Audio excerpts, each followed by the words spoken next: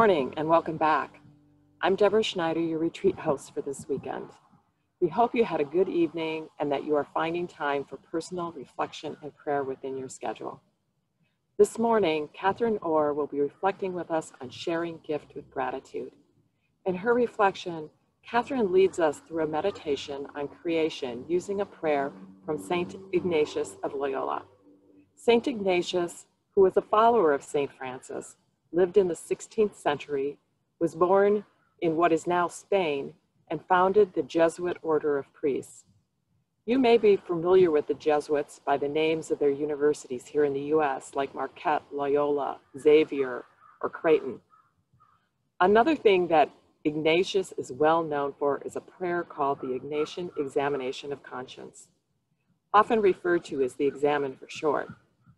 Simply put, the Examen is a prayerful reflection on the events of the day that help us detect God's presence, see God's work in our daily lives, and discern God's direction for us.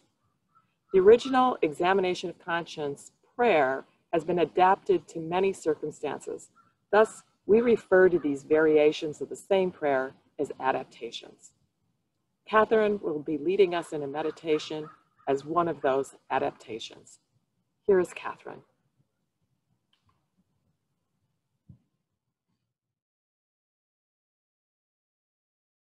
My name is Catherine Orr, and I'm the Pastoral Associate at Lumen Christi Parish, and I'm thrilled to be joining you today for this virtual retreat titled Gift, Gratitude, and Joy Finding Our Sacred Roots in God's Creation. Although I am recording this a uh, couple weeks prior to the actual event, it's still relevant and the information I hope you will find helpful. The second reflection that I am going to be leading you in is titled Sharing Gift with Gratitude. I want to take just a couple of minutes um, to share a little bit about myself and why I chose to highlight the Ignatian Examen. Uh, and we're going to adapt it just a little bit for our purposes today. But I really fell in love with Ignatian spirituality when I was attending Marquette University for both my undergraduate degree and my graduate degree. And what I had appreciated through my time uh, at the university with the Jesuits was this idea that we need to find God in all things, whether great or small, and all that greater glory belongs to God, God our Creator. And what's wonderful um, is that there are a number of tools and um, practices that we, we can utilize in our daily lives that will help us on our spiritual journey. The whole idea of being a disciple of Christ is being uh, being able to notice where Christ is in our lives, whether that is uh, when we're going to work or on our commute or if we're going on a, on a pilgrimage, which might be tough nowadays uh, because of COVID.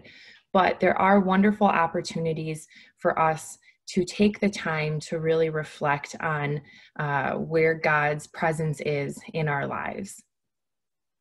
So, I wanted to just take a few minutes to talk uh, in general terms about what the Ignatian Examen is, because we're, like I said, in the second portion of our time together today, I am going to adapt it a little bit um, to have a different focus. So, if you're not familiar with the Examen uh, in its in its pure form, I just wanted to take a couple minutes to go over that because it is a wonderful tool that is meant to be utilized daily. And I just want to make sure we have a, a similar starting point for all of us as we discuss um, kind of what the examen is as it pertains to the season of creation. So the examen is uh, it's a wonderful tool, like I said before, to help us find God in our daily lives it's actually it's just an examen or a review of our day. And some most people if they do the examen on a daily basis do it at the end of their day and they review that that day. Uh, others like myself because by the time i get to the end of the day i'm exhausted and usually I've got trying to get my kids to go to bed, and it's tough um, to have the space, the quiet, um, the reflective time to review the day. So, what I do is around noon prior to my lunchtime, I will actually reflect on the previous day. So, you can you can utilize this tool um, either midday, reviewing on the previous day, or you can do it um, in the evening. Most most people do it before they go to bed. But we do this because the goal is to be aware of where God is is in the midst of that day. Whether it's a big grandiose day that we had, um, you know, there was a big promotion or these big life events, or it's just recognizing where is God in the small moments. And if you do that and commit to it on a daily basis, you'll start to notice patterns of where God is in the midst of your day. And hopefully, once you start to notice those patterns, you'll be able to, um, it, it calls us to a greater conversion and it moves us um, to change small areas in our lives that maybe aren't focused toward God and what his plan is for us. So, as you pray the examen, there are um, really five steps that you take um, in order to acknowledge um, where God is in the midst of your day.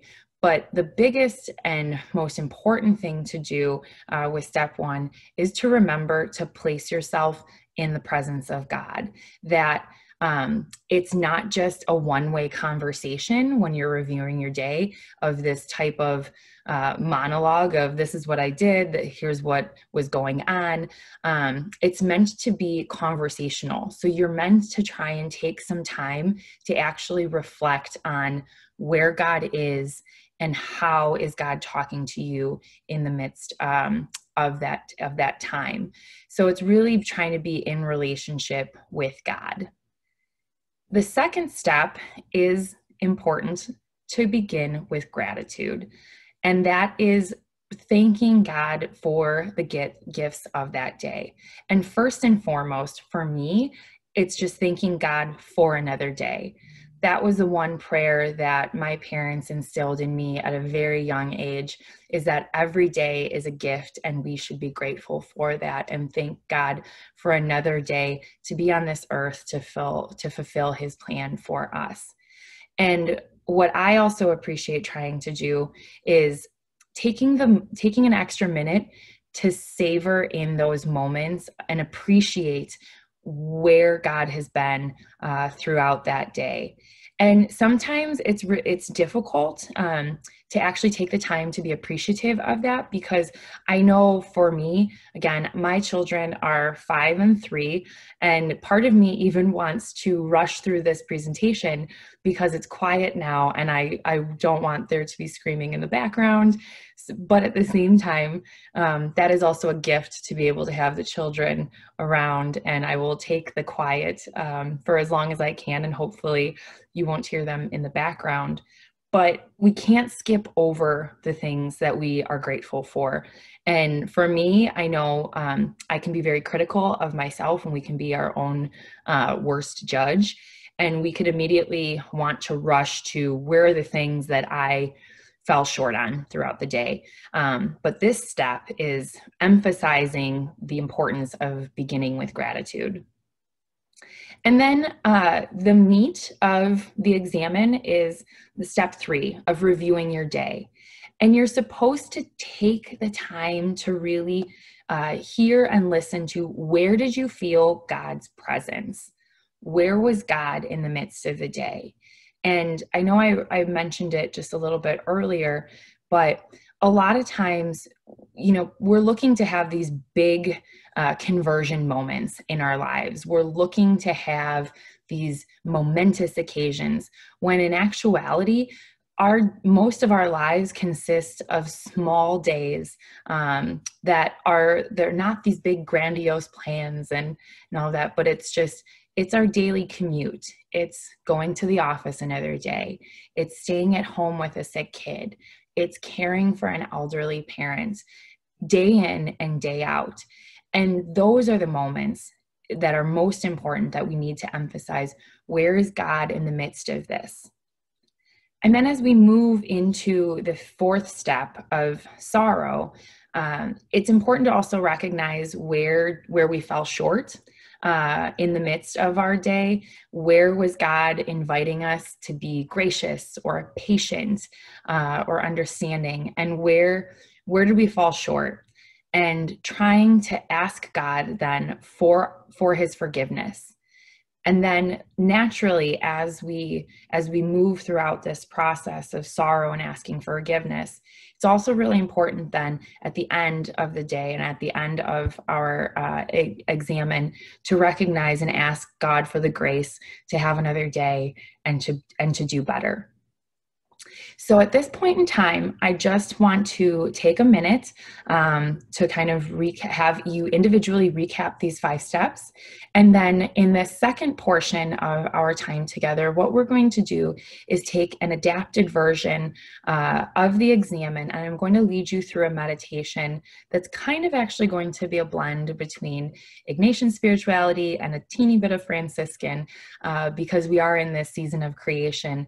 And what I'm going to do is I'm going to ask you reflective questions during each of these each of these steps that pertain to uh, your ability as a co-creator um, in creation where where have you found beauty? Where have you found god's grace and god's presence uh, in the midst of the changing seasons?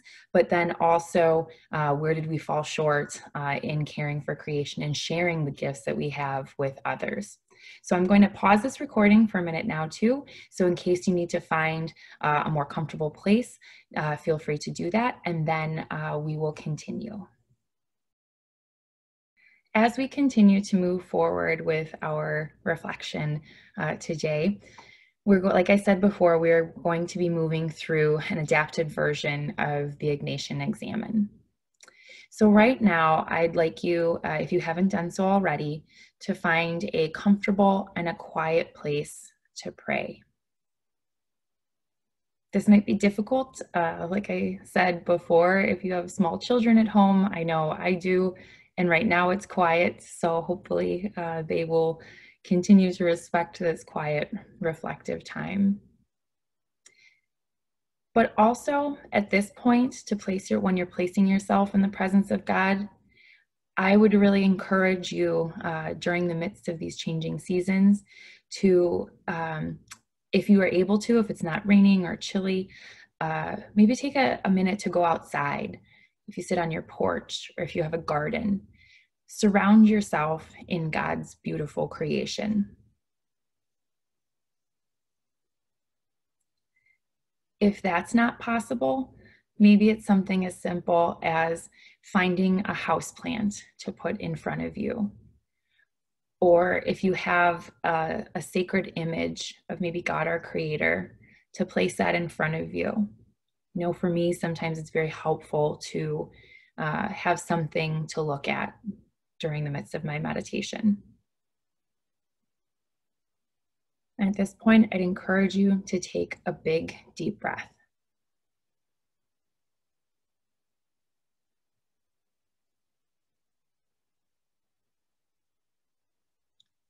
and ask God to be with you at this time.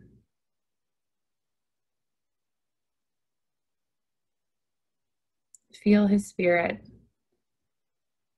in, in you.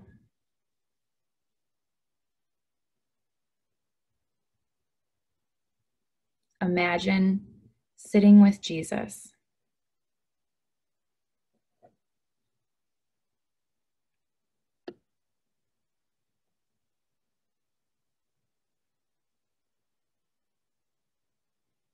If you're outside,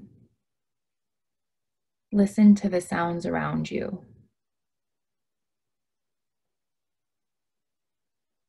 Maybe it's the, the wind blowing through the trees, birds chirping. Maybe it's the rain hitting the window pane.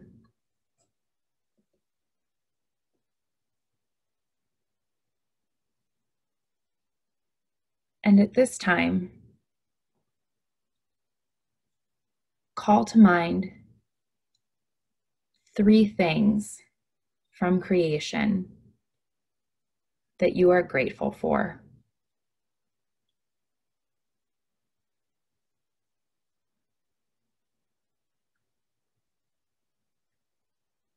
For me, I'm grateful for the clean air, the warmth of the sun,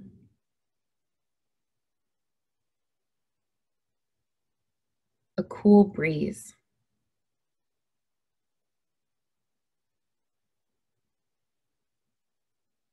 Thank God for each of these things.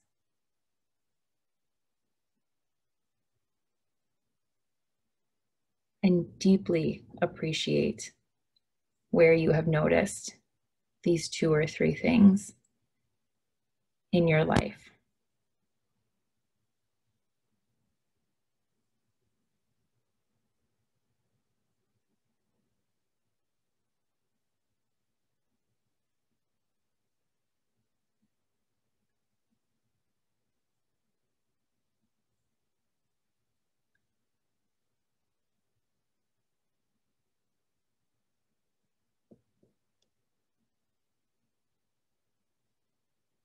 Now, the work. Instead of reviewing just the day, I'd like you to take a moment and think back over the summer months. Like I said, today I'm recording this on September 13th. But this retreat as you're watching this, be taking place in early October.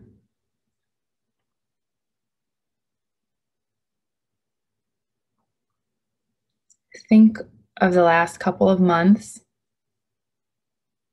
and don't focus on the chaos that has been the pandemic and trying to get back to work push those things push those things to the side for right now.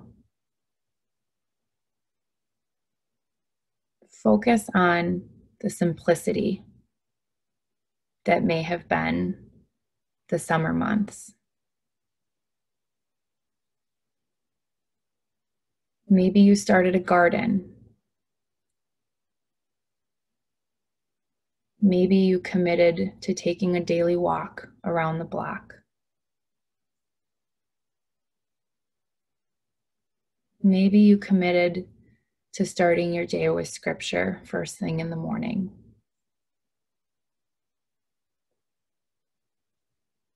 How did your time change and evolve over the last couple of months? For me and our family, we relished in the small things. We took our dog for a walk in the woods. We planted a garden, albeit a small one, with tomatoes and cucumbers, and watermelon. And we started those, those plants from seeds. I remember the excitement and the joy I found when I watched my children plant the seeds and the excitement that they would share when they started to see the seed sprout and to see it grow.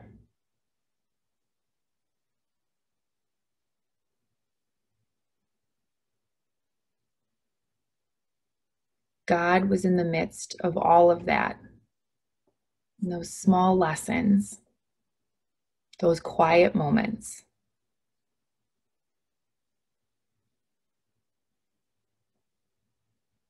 Those moments are when I accepted God's invitation to relish in the small things.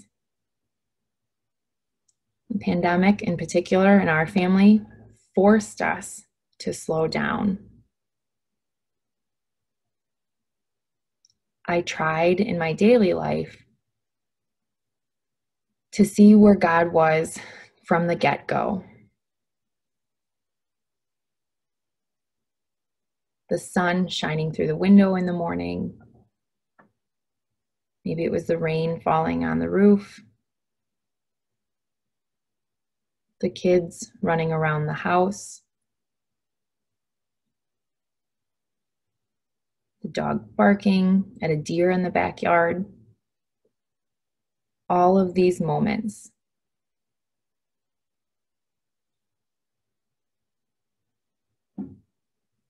Now think about the recent weeks. Maybe you're working from home still. Maybe if you're like me, you started back in the office.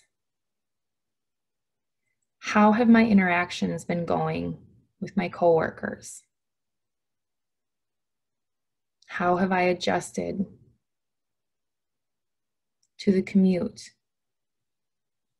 Did I notice that there are less cars on the road?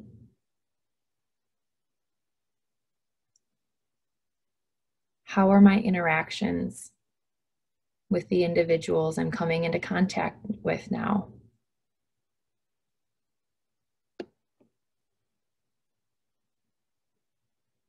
Where is God present to you in the midst of all of this.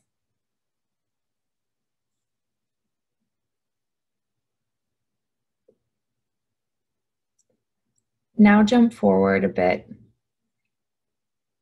toward the end of September, the last couple of weeks, or early October. Have you started to notice some of the leaves are turning?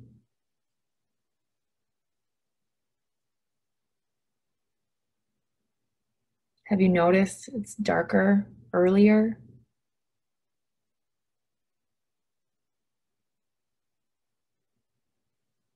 Have you noticed a crispness in the air?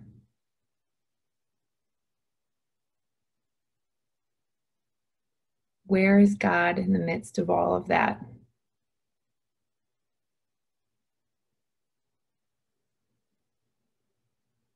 Can you feel God's presence?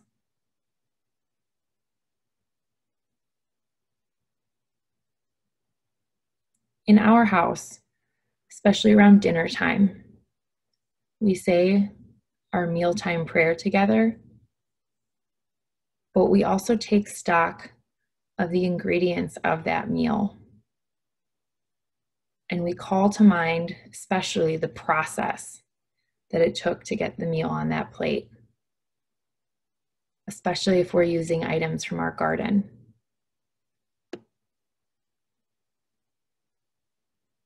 We think about all the individuals that were involved in that process of preparing that meal. We bless, care for, and, and want to remember all the farmers, the growers, the harvesters, the processors, grocery store workers, cooks, even if it's yourself, call to mind that connection with all of those individuals through that meal. And thank God for their labor.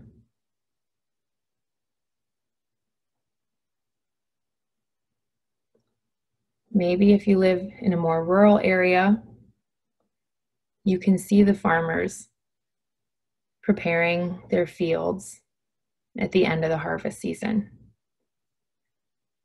If you live in a more urban area, you might not have access to seeing the, the farmers turning their fields over. But if you have a, a maple tree in your backyard, go outside and notice the changing color of its leaves. Take stock of how the leaves might fall to the ground. And thank God for his wondrous creation. then think about where God was in the midst of these changing seasons. And how did you respond to God's call as a co creator?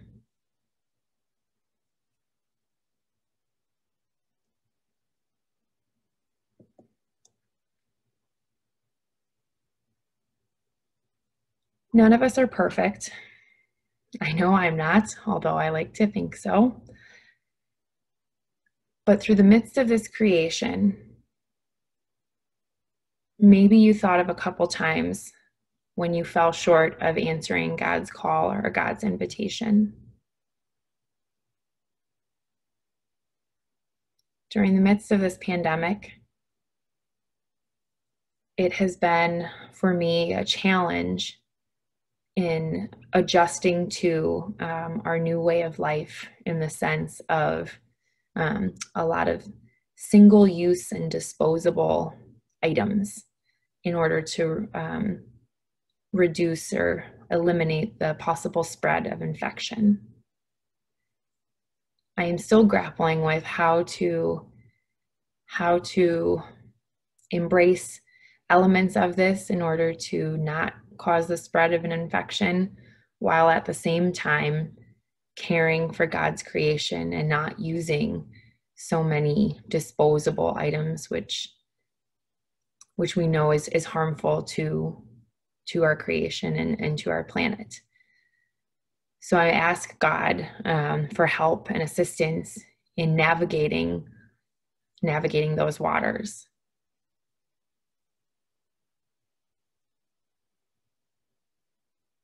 maybe it was a time when you were walking through the woods and you saw some litter on the ground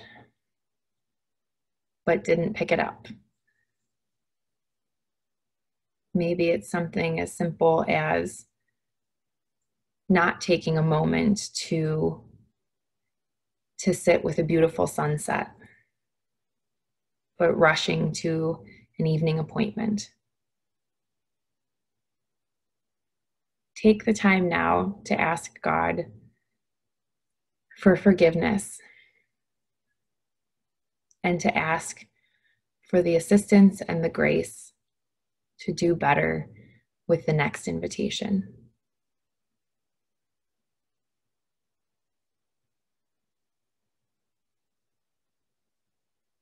During this time, it might also be a time to consider when was the last time you participated in the sacrament of reconciliation? I know for me, very honestly, I I am overdue. And the graces received from that sacrament help us to repair our relationship with God and to be able to see his presence even more clearly in the midst of our day.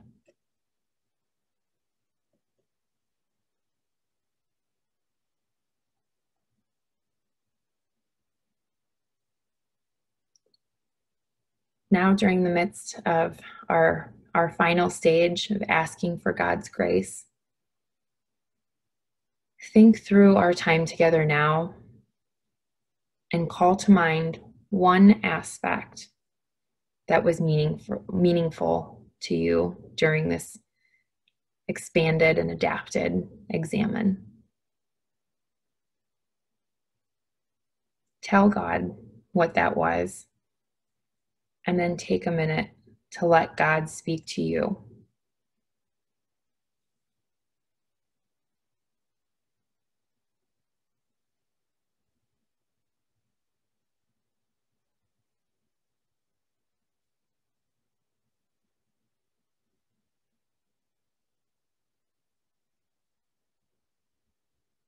Now, I'd like you to ask God to see the grace in the midst of this season of creation. As the leaves continue to change colors, as it continues to get darker earlier in the day, ask God to be with us during this time of transition of the seasons so that we can feel His presence in still a time of great uncertainty. Thanking God for the small gifts and graces in our lives will help us to remember that we are co creators in His plan and that we are meant to live in communion with God and with our, our sisters and brothers. I thank you for this time today, and I hope um, that you can spend some quiet time in meditation and with reflection. I think um, in our the program there are a couple of scripture passages that are highlighted, and I would encourage you to take the time throughout the rest of the day to take a look at those. Thank you, and God bless. We invite you to take a few minutes to ponder the going deeper questions for reflection and journaling as listed below reflection two on the retreat schedule of your retreat booklet. We also want to remind you that an opportunity for small group discussion will take place this afternoon at 4 p.m. U.S. Central Standard Time. If you would like to participate and have not yet registered, please go to the schedule page of your booklet and click on the small group discussion sign up link to register. Cutoff time for registration is 3 p.m. Have a good morning and afternoon. We will see you later.